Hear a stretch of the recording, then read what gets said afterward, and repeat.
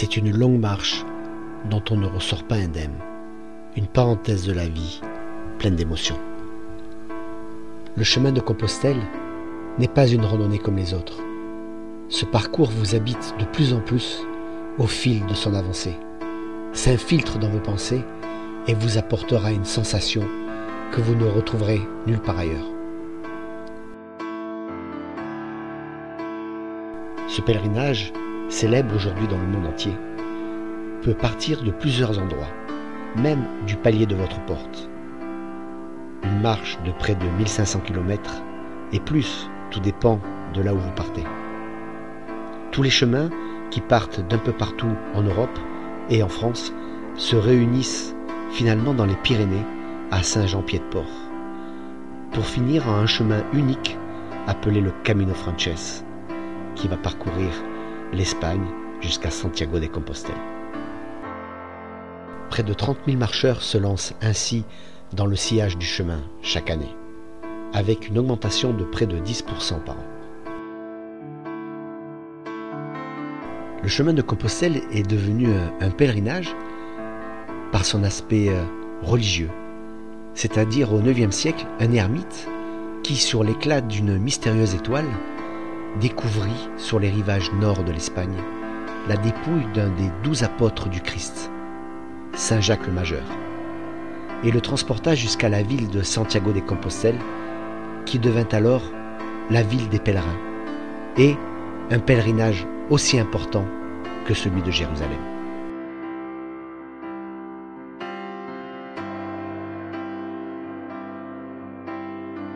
Mais quelles sont les raisons qui poussent des milliers de personnes de toutes nationalités dans cette aventure incroyable? Quel est donc le sens profond de ce passage millénaire? Fred et Simon, chez qui nous avons passé une soirée, Fred, lui, a son idée très réaliste sur la question, après avoir rencontré environ 1500 marcheurs qui passent par leur gîte chaque année. Toi, euh, comment tu ressens un peu euh, tout ce que peuvent euh, ressentir un peu ces gens qui viennent te voir et qui font le pèlerinage Est-ce qu'il existe plusieurs, plusieurs raisons Est-ce que les gens sont différents ben, C'est une question qu'on peut se poser. Pourquoi les gens font ce pèlerinage de Compostelle? Je disais tout à l'heure, il y a autant de, autant de raisons de, faire chemin que de gens qui l'empruntent. Euh, il y a quand même une majorité des gens euh, qui partent pour le côté un petit peu rural et sauvage de la France. Et puis, euh, par contre, c'est vrai qu'il existe un certain nombre de personnes qui font le chemin suite à ce qu'on appelle nous des accidents de la vie. ça peut être la perte d'un proche, la perte d'un emploi, un changement de situation un petit peu brutal dans leur vie, qui font qu'ils ont besoin de réfléchir. Et ce chemin, j'ai l'impression qu'il apporte beaucoup aux gens, parce qu'on a quand même pas mal de retours des gens qui sont passés par chez nous et qui, avec qui on garde contact derrière, avec qui on échange. Et il y a énormément de personnes, en fait, euh, le fait de se vider physiquement sur le chemin toute la journée, jour après jour, ça libère certaines choses au niveau de la tête.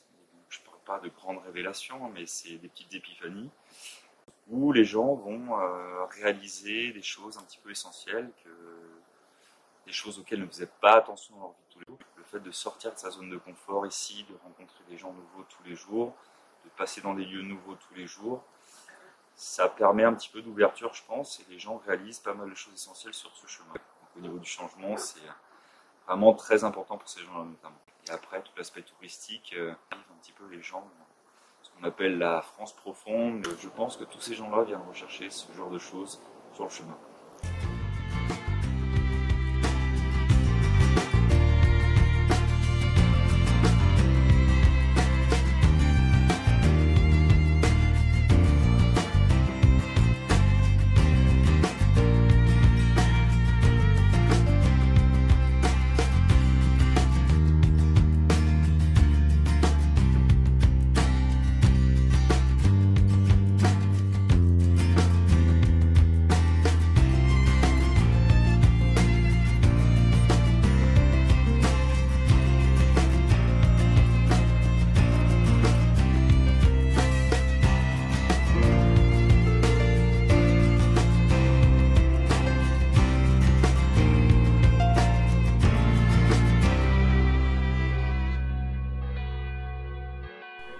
Commence à 7 heures, à la cathédrale du Puy-en-Velay, où une messe est célébrée en bénédiction des futurs pèlerins qui vont entamer le chemin.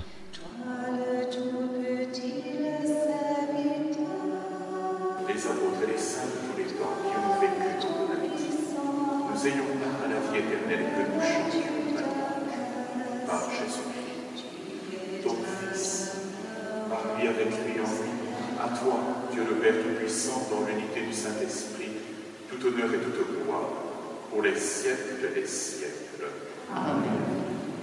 L'Ouest par la Vendée, Bretagne, Normandie. Qui a venu aussi Destination Paris, région parisienne? Qui est venu centre de la France, pays de la Loire. J'ai pas entendu tout là-bas, là-bas. Allemagne?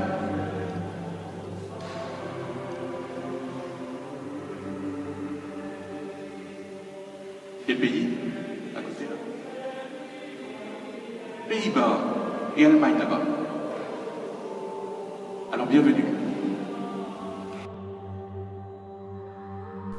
Avant leur départ, tout pèlerin qui le désire peut déposer son intention, c'est-à-dire un souhait, un vœu qu'il aimerait bien voir se réaliser, et le déposer dans une urne au pied de la statue de Saint Jacques dans la cathédrale du Puy-en-Velay.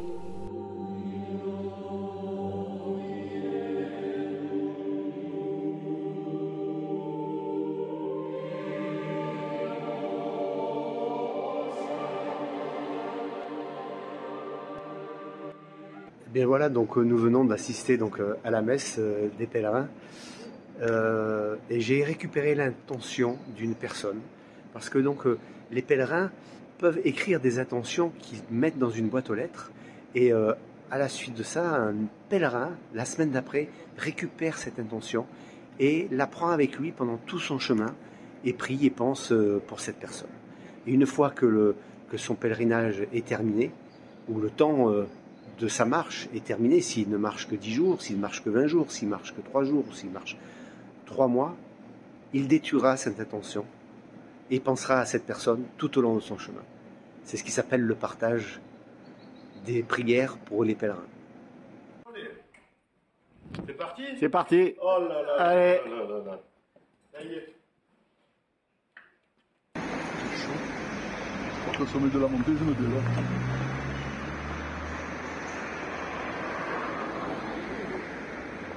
Là, le départ, on quitte la ville.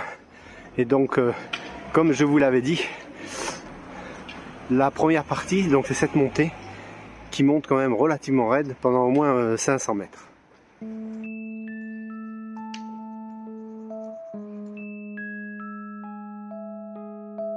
Avant de partir, prenez avec vous votre crédential à la cathédrale du Puy-en-Velay.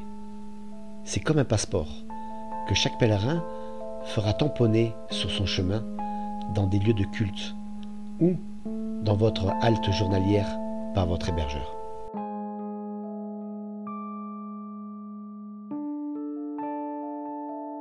Voici le passeport pour le chemin de Saint-Jacques, la crédentiale.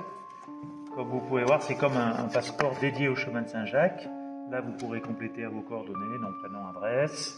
Ici, la signature de l'évêque du diocèse, quelques conseils pèlerins. Et là, le premier tampon de Notre-Dame du Puy, déjà imprimé. Et c'est vous qui allez le mettre. Il est mis. Ah, il est mis. Il est mis juste la date à, à mettre de votre départ. Et ensuite, les nombreux emplacements pour euh, marquer votre euh, passage, votre périple, vos bien. étapes et votre progression jusqu'à Saint-Jacques au bout. Voilà. C'est bien. Ben, Nous avons dépassé euh, la pancarte du Puy-en-Velay et euh, nous attaquons là, vraiment, là, ça y est, c'est parti. Donc le chemin de Compostelle est quand même euh, un périple vraiment personnel. Donc, soit vous le faites à, vo- à votre rythme, hein, de toutes les manières, il faut le faire à son rythme. Soit vous le faites en vous donnant des petites étapes, hein, d'une quinzaine de kilomètres à peu près. Soit vous passez à un niveau un peu plus supérieur, c'est-à-dire 20-25 kilomètres si vous voulez marcher vite. Mais bon, le tout c'est de prendre son temps et de se faire plaisir. Donc vous pourrez le faire à votre rythme et toute personne donc est capable, selon ses capacités, de pouvoir le faire. Après la montée, on est à 3,10 de moyenne, c'est pas beaucoup, il faut arriver à 4.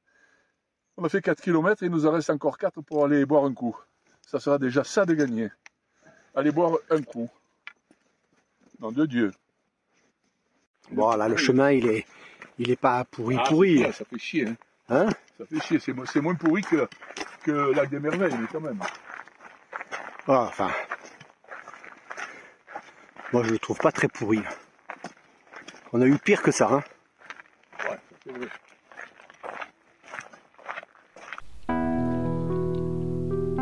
Bien que mon chemin au départ était un partage avec mon père, mon beau-frère et le beau-père de mon beau-frère, toute une histoire de famille quoi, a pris un tournant euh, spirituel. C'est-à-dire que je suis parti avec euh, l'intention d'un pèlerin, déjà parti certainement avec l'intention d'un autre pèlerin, qui fait que ce chemin devient d'un coup pour moi spirituel.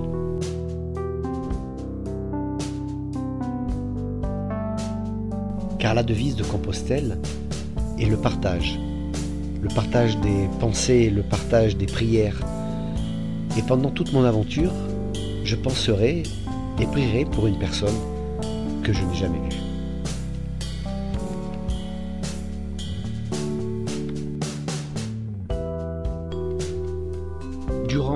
Chemin, nous allons faire des rencontres et au travers de ces rencontres, nous allons comprendre pourquoi les gens font le camino.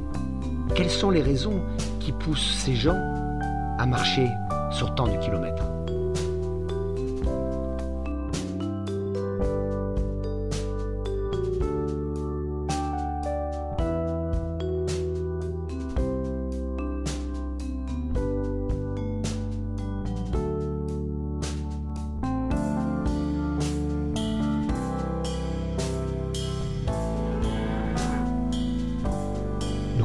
Puy-en-Velay et le plateau du Volet. En traversant la campagne française, nous nous dirigeons vers la ville de Sorgue et le pays du Gévaudan, pour enfin atteindre le plateau de l'Aubrac et Nasminals.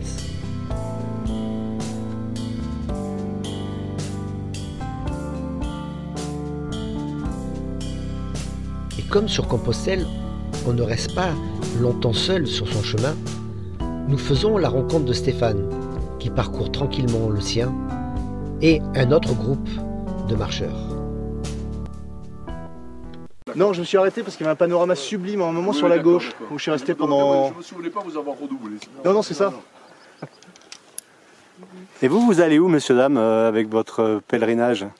Vous faites On un... aller jusqu'à Saint-Didier d'Aubrac. ou Euh, Mais aujourd'hui, on va. Ah, vous partez une semaine Comme nous, comme nous. Nous aussi une semaine. Nous, on va aller jusqu'à Nasminals, es- Espalion. Et le but, c'est de, c'est de faire un, trek entre copains. euh, Là, voilà. 22. Une petite balade euh, Vingt-deux, vous allez où alors entre copains. Ah, c'est bien. Ah, Si ça va, on va s'arrêter à. Ouais. Ça fait 17 km, mais on les fait tous les jours. Ouais, c'est ça. Tandis que nous, on a avec deux étapes plus courtes. Euh, Non, nous, on fait tous les jours Aujourd'hui, on 17. fait fort. 17, je l'ai- j'ai établi en fonction, on fait toujours 17. À une semaine, ça nous amène à Espalion. ouais. Bon, bah, à plus tard. Au revoir et... Si vous avez plus Bon chemin. Allez-y. Hein. À tout à l'heure, oui. Donc, euh, vous, euh, euh, vous faites ce, ce pèlerinage, pourquoi alors? Parce qu'apparemment, vous allez jusqu'à Compostelle. Moi, je vais jusqu'à Compostelle. J'ai- décidé de m'offrir euh, neuf semaines de ma vie pour faire une grande marche et puis essayer de me retrouver. Et l'objectif étant surtout de, de me libérer un peu du profane, de libérer toutes les contingences, euh, toutes les aliénations sociales et, être dans une espèce de, simplicité au, quotidien, sans me projeter nécessairement trop loin. Faire en fait une balade par jour pendant deux mois et demi. Et vous savez que là, le, pour le moment, vous n'êtes pas transporté par le, par le chemin, mais dans une semaine, vous serez dans le chemin et le chemin fera partie de vous. Vous le savez ça Il paraît, alors on m'en a parlé, euh, je, je, je sais pas, j'ai pas encore assez d'expérience, je, je démarre à peine, mais euh, je- j'espère que je vais, je vais pouvoir euh, Et- vivre une telle, une telle transcendance, on va dire. Et là, là, c'est surtout l'arrivée. Dans l'arrivée, quand vous allez, quand le chemin va vous, va vous quitter justement, Il paraît. Il paraît. Alors j'ai vu qu'il y en a beaucoup qui continuent leur route après Compostelle jusqu'au Portugal. Alors je m'interdis pas d'en être. d'accord, merci beaucoup. Mais merci à vous.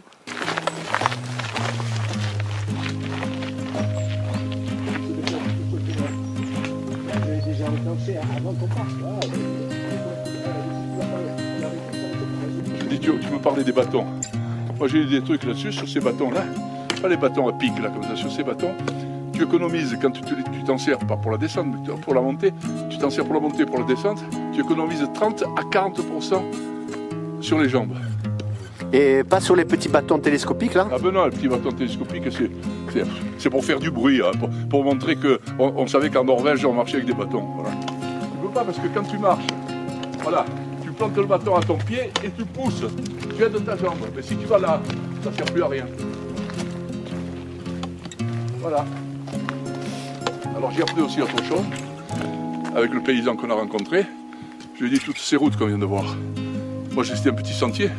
Maintenant, c'est c'est carrossable, ça va être goudronné. Il m'a dit non, monsieur, ça ne sera jamais goudronné parce que c'est une voie romaine. Hum, Ça ne sera jamais goudronné, c'est une voie romaine. On se demande ce qu'ils venaient foutre ici, les Romains, mais bon, ils sont venus. Ils étaient partout. En traversant des ambiances magnifiques, culturelles et naturelles, dans une campagne profonde où règne une atmosphère qui vous transportera, le chemin de Saint-Jacques de Compostelle, en France, a été inscrit au patrimoine mondial par l'UNESCO pour qu'il soit protégé au bénéfice de toute l'humanité.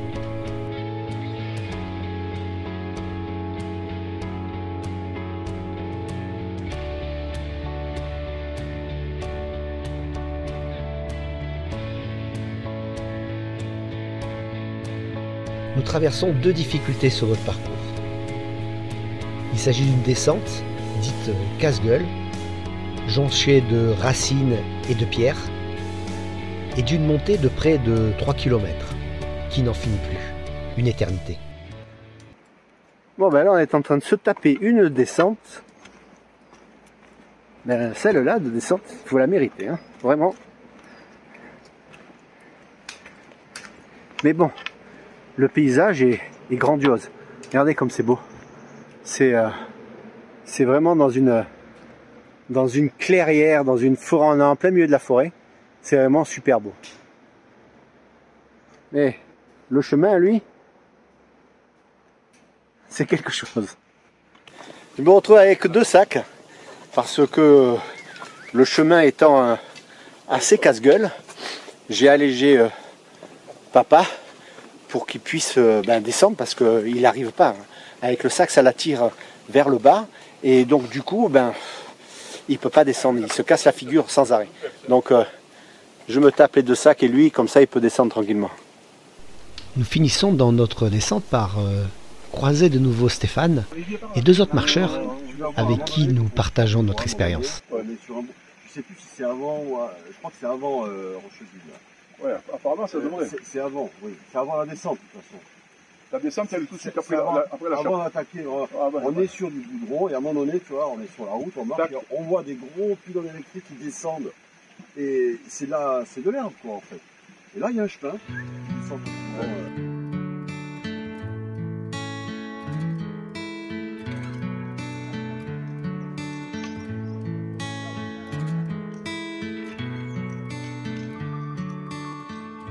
Bon ben là, on attaque euh, une deuxième difficulté, mais je pense celle-ci, elle est un peu plus difficile que, que les soi-disant descentes pleines de cailloux. On attaque la montée euh, de la chapelle Sainte-Madeleine. Ça s'appelle la montée de la Madeleine. C'est ça la chapelle? C'est la chapelle Sainte-Madeleine, ça? Ah oui. Je croyais qu'elle était en haut de la montagne, moi. Et avant, Ah oui, la chapelle troglodyte. avant, quand on passait devant, on était au bout. Là, apparemment, c'est loin. hein. Waouh Tu veux que je m'enlève? Non Au contraire, reste. Bon, ben on va quand même pas mourir idiot. On va essayer de voir qu'est-ce quand même euh, ce qu'il y a à côté de, de- à l'intérieur de cette chapelle. Incroyable, cette chapelle est creusée dans la roche. C'est-à-dire que ils ont creusé la roche, ou alors il devait y avoir une grotte, et ils ont construit la chapelle à l'intérieur de cette caverne. Incroyable. Alors bien sûr, la chapelle donc est fermée. On va voir si on peut voir euh, à l'intérieur par les ouvertures.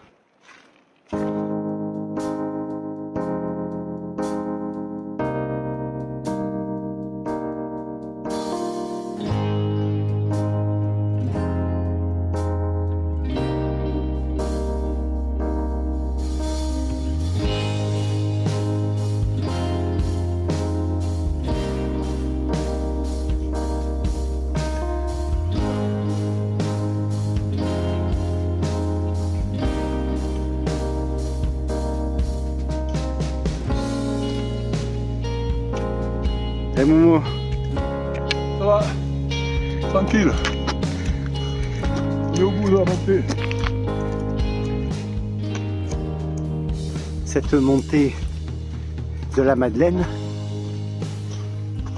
elle se mérite. hein. Depuis euh, que nous sommes partis, ça fait que monter. Depuis la, la chapelle, euh, là, ça monte et ça en finit plus. Mais euh, quand même, l'endroit est magnifique. On est dans la forêt, comme vous pouvez le voir. C'est vraiment très très beau. Et le chemin, bon, est vraiment bien le chemin est carrossable, il est, il est vraiment, voilà.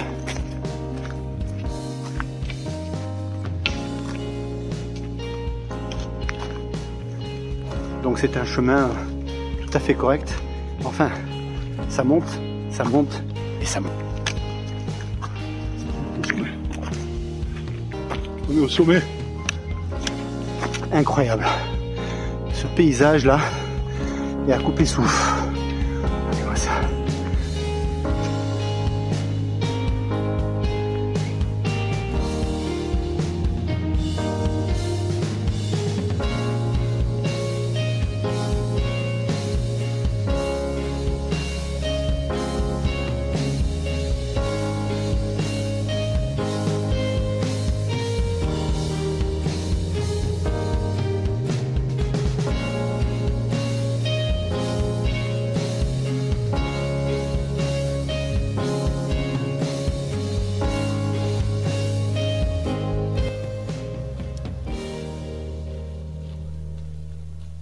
Nous croisons un marcheur qui parcourt en sens inverse le chemin. Et je ne peux m'empêcher de lui demander mais pourquoi? C'est alors que William nous explique pourquoi fait-il ce chemin en sens inverse. Et son témoignage nous a vraiment pas laissé indifférents. Donc sur notre chemin, nous avons rencontré euh, William et euh, il va nous expliquer pourquoi il a choisi de faire la quête du euh, chemin de Compostelle. Euh, pardon mon école français. Euh, j'ai fait des obsèques pour mon père qui est mort en janvier euh, 2020 euh, aux États-Unis. Mais son père, mon grand-père, vient depuis et la ligne de ma famille paternelle vient depuis il y a des ans. Et on, euh, je, marche avec un moitié de les cendres de mon père pour enterrer là-bas dans le cadeau de la famille au cimetière de Puy. C'est mon histoire. Vous- Où est-ce que vous avez commencé votre euh, chemin? À Cahors, le 5 septembre. Et je marche puis je euh, terminé le 27, vendredi. Vendredi. Et j'ai euh, une réunion avec le pompe funèbre euh, le 27, lundi. Ok, Ouvrez et fermez les, les portes du cadeau. du caveau. Ben William, euh, on vous souhaite un bon camino. Merci. Et vous aussi. Merci bien. Au revoir.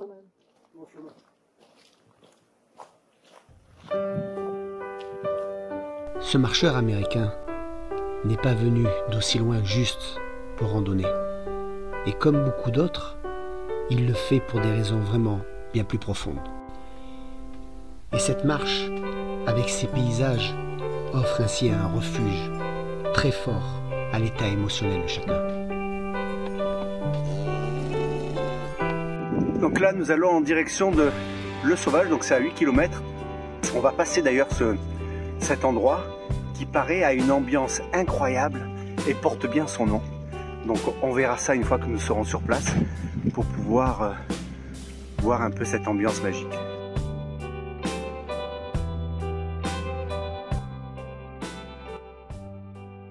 A croisé Nathalie euh, sur notre chemin et euh, donc comme euh, à tous les autres, on lui a posé la question et pourquoi fait-elle ce chemin et quel est son intérêt?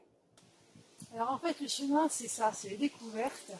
Découverte de Thierry et de son papa de 83 ans. Et ces moments un peu comme ça qui passent et qui, qu'on se rappelle le jour au lendemain, qu'on va s'en rappeler. En fait, il y a des rencontres qu'on fait qui durent 3 secondes mais qu'on s'en souvient pendant des années. Voilà, c'est ça le chemin. C'est des rencontres et c'est des gens qu'on. Et puis c'est magnifique euh, endroit dans la nature, que l'on marche et on marche et on marche. Euh, c'est pour ça que je fais le chemin, c'est pour euh, gloire à la vie, et gloire et euh, voilà. Pour, en tout cas, c'est tout ce que j'ai à dire. Je ne connais pas son histoire personnelle, et elle ne me dit pas tout. Mais le chemin et ses rencontres lui font de l'effet.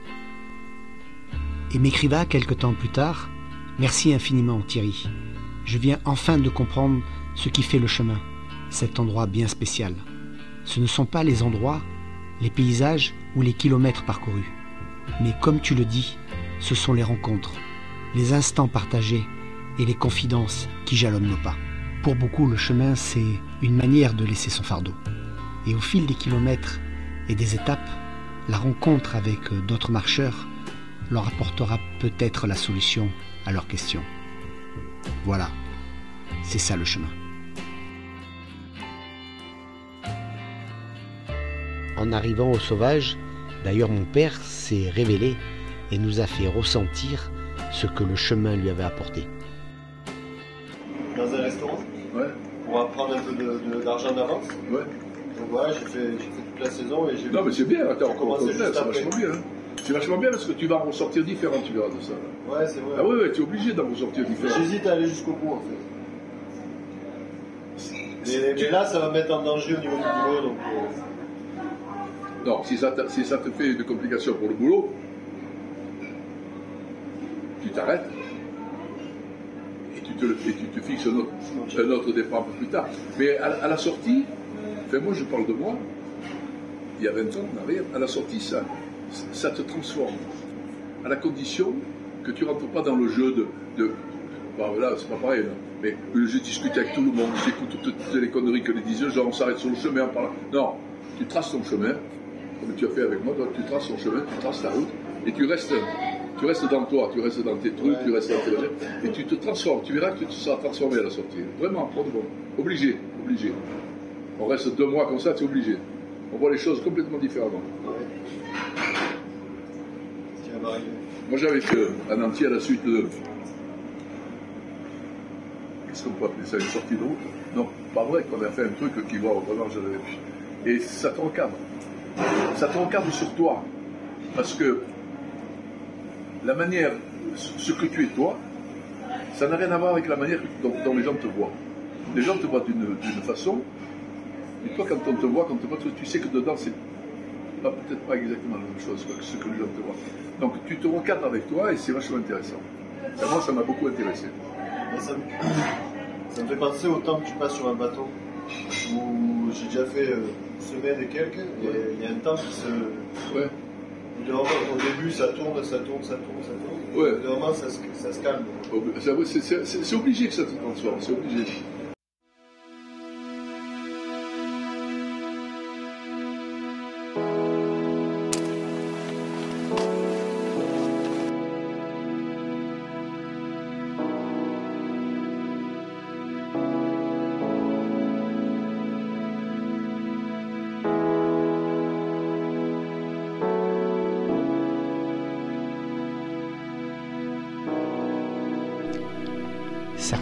Se lancent sur le chemin comme une hymne à la vie, pour prouver à leur corps, à la suite d'une grosse épreuve, qu'ils sont toujours là. Comme Tiphaine et son père Bernard, que nous croisons sur notre chemin, mais aussi Xavier, que nous avons rencontré à notre arrivée à Nasminals.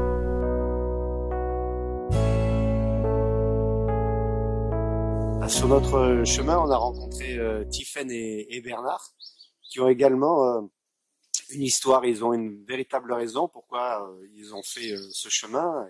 Ils vont nous l'expliquer.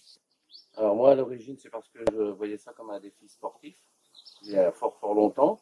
Et euh, depuis, j'ai eu quelques problèmes euh, physiques, enfin, en l'occurrence une opération du cœur, et donc je- j'avais laissé un peu tomber. J'ai parti aux oubliettes et Et c'est moi qui ai voulu euh, poursuivre ça. On, avait, on est déjà très fusionnels tous les deux. Et puis, euh, j'avais envie de repartager un moment de complicité. Et puis que mon père réalise son rêve euh, avant de partir. Bon, il a encore le temps, hein, euh, il y a encore quand même quelques années. Mais voilà, je voulais que ça se, concré- ça se concrétise pardon, et qu'on fasse ça tous les deux. euh, voilà, partager ça ensemble. Au revoir. À bientôt. Et vous aussi, hein, bonne continuation. Hein. Et ben voilà, nous quittons notre auberge, l'auberge de Bigoz, où l'accueil a été magnifique, les gens vraiment super sympas, on a fait de très belles rencontres là aussi. Et euh, nous euh, marchons maintenant sur le plateau de l'Aubrac, euh, qui va être aussi un moment qui risque d'être très sympa. À l'ambiance du matin, là, comme ça, avec le départ sur ce chemin, c'est quand même quelque chose de magique. Avec cette brume qui euh, envahit euh, doucement, doucement euh, le paysage et puis qui se dégage. Il se dégage une atmosphère difficile à expliquer, il faut le vivre.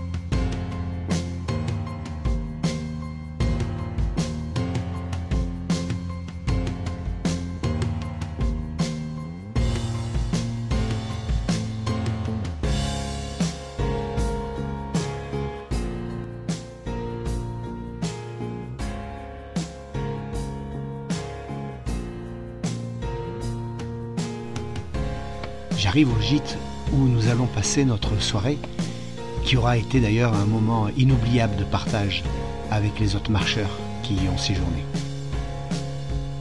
Je fais aussi la rencontre de Pauline et de Noémie, qui me donnent leur raison de leur choix de s'être lancés sur le chemin, mais aussi leur ressenti après une semaine de marche.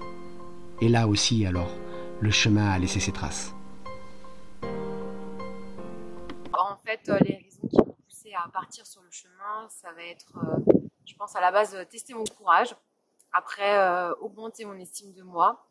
Et mesurer peut-être plus ma valeur en me disant que je suis capable en fait d'accomplir des choses toute seule et d'accepter d'être différente et d'avoir des choix qui peuvent être différents et de quand même les réaliser. Et on sent que la beauté humaine en fait elle est vraiment présente parce que les gens montrent en fait qui ils sont et et ils sont tous bienveillants les uns envers les autres. Et finalement, c'est le plus beau cadeau que je vais retenir en fait de ce chemin, c'est la pureté, la beauté et l'amour en fait du voyage. Il y a des pèlerins qui, qui, se croisent et se recroisent sur le chemin et, et qui ont à peu près la, la, même capacité physique et qui font le même nombre de kilomètres. Et donc, et, là, toi, tu as rencontré euh, un autre pèlerin qui faisait le chemin, une, autre jeune femme euh, qui s'appelle Noémie et euh, ben, pareil, ben, oui, euh, et puis euh, va nous expliquer elle aussi pourquoi elle fait ça. Et puis euh, Noémie et, Pauline, ben, finalement, font presque le chemin ensemble puisque puisqu'elles marchent à la même allure, elles ont la même capacité physique et, partagent quelque chose ensemble alors qu'elles se connaissaient pas auparavant. Pas du tout, non.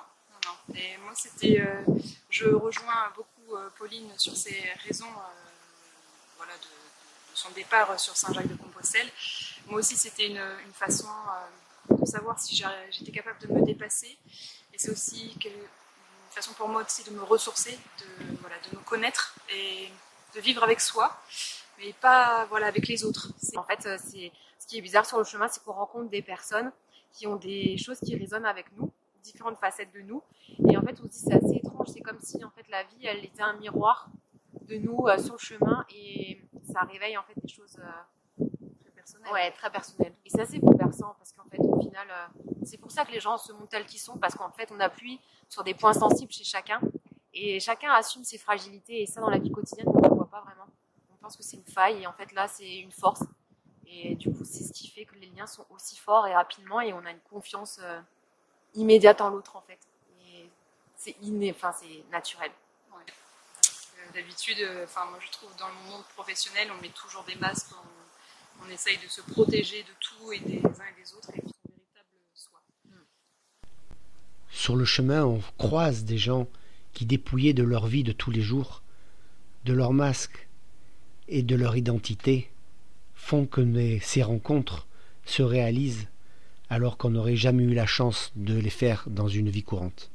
Et même certaines personnes se dévoilent seulement au fur et à mesure de l'évolution du chemin, comme Xavier, discret, qui parcourt le chemin comme Bernard, en adoration de la vie. Ok. Euh, en mars de l'année dernière, en mars 2020, non, en mai de 2020, euh, au milieu du Covid, j'ai découvert un cancer. J'ai eu un cancer de euh, côlon, euh, du côlon. Du coup, l'été dernier, j'ai fait 4 mois de chimio. Euh, ma dernière chimio, c'était euh, cette semaine, l'année dernière. Ensuite, j'ai fait de la radiothérapie en novembre et j'ai eu une première opération en mars et une deuxième opération en, juin. J'ai plus de cancer, mais mon corps euh, fonctionne euh, pas super bien. Et je me suis dit, et je reprends le boulot dans un mois, un mois et demi. Et je me suis dit, bah, c'est l'occasion de, de faire une coupure avant de repartir le boulot, de refaire le boulot. Et puis, euh, voilà, pour que ça clôt une, une, une étape pour moi. Euh, voilà, c'est ça, c'est ma, ma réponse. Ben, J'espère que le chemin t'apportera la force qu'il faut pour ça. Ben ouais, j'ai ça. C'est pour ça aussi que je voulais faire un chemin qui a une dimension un peu spirituelle aussi.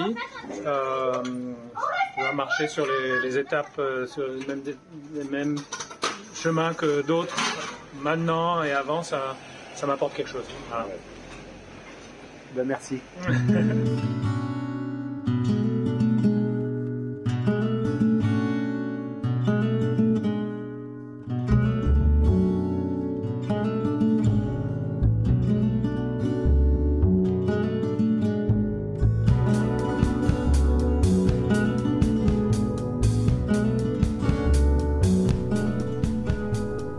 vers le plateau de l'Aubrac que, après ces rencontres avec d'autres marcheurs, que j'ai commencé à comprendre le véritable esprit du chemin.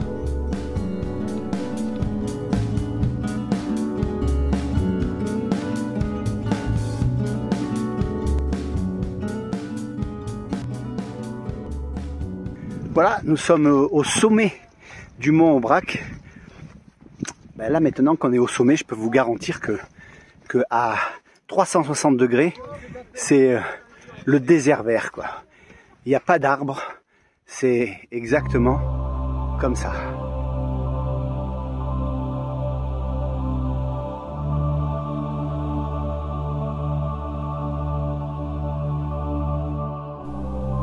En arrivant au sommet de l'Aubrac, avant notre descente vers Nasbinals, le chemin nous conduit plus près du ciel et entame une transformation lente progressive.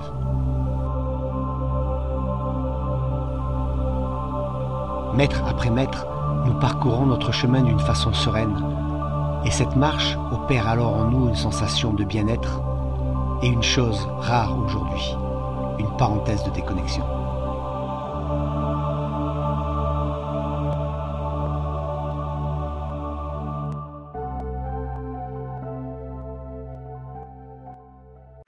Et bien voilà, donc j'ai euh, déposé mes affaires dans le, le gîte où nous allons. Et euh, j'ai déposé mon sac aussi. Parce que bon, c'est bien, mais ça fait du bien quand même hein, de le déposer. Et je me dirige maintenant euh, vers euh, l'église donc euh, de Nasbinals où je vais euh, accomplir euh, la fin euh, de ma mission.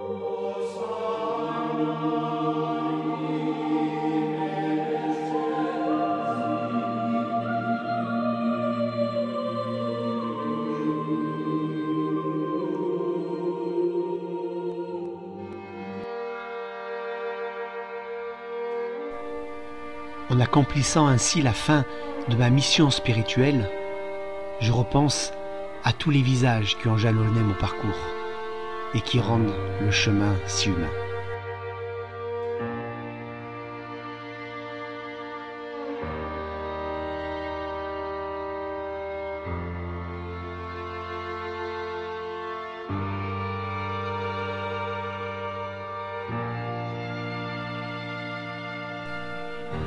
Continuant votre route, vous arriverez à Saint-Jean-Pied-de-Port, avant de traverser les Pyrénées et atteindre Roncevaux avant la frontière avec l'Espagne. Vous aurez alors fait 744 km depuis le puits et allez traverser le nord de l'Espagne jusqu'à Santiago de Compostelle et parcourir un peu plus de 800 km. Et le chemin prendra alors le nom de Camino Frances.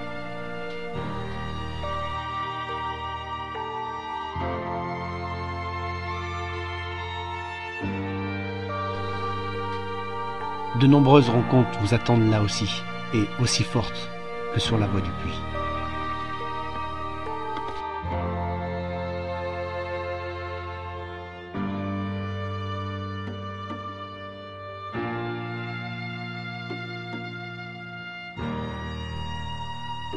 En arrivant à Compostelle, l'aboutissement est le point central face à la cathédrale. Tous les pèlerins partis à pied, à vélo ou même à dos de cheval se réunissent là, se congratulent de leur parcours accompli, mais aussi pour retrouver un réconfort, car personne ne veut voir finir leur parcours qui va laisser un grand vide. Et certains ont besoin d'un sas de décompression pour retrouver une vie normale. Car le chemin est plein d'émotions et a été leur compagnon pendant de longs jours et même de longs mois. À votre arrivée, muni de votre crédential, vous pourrez la faire valider au bureau officiel des pèlerins et recevoir ainsi votre dernier tampon et également la Compostelle, qui est un diplôme, un certificat qui prouvera que vous avez bien fait Compostelle comme pèlerin. Certains choisissent de poursuivre jusqu'au Portugal, jusqu'au Finistère, là où au Moyen Âge la terre s'arrête, pour que ce chemin ne s'arrête pas tout de suite et que leur déconnexion se poursuive encore un peu.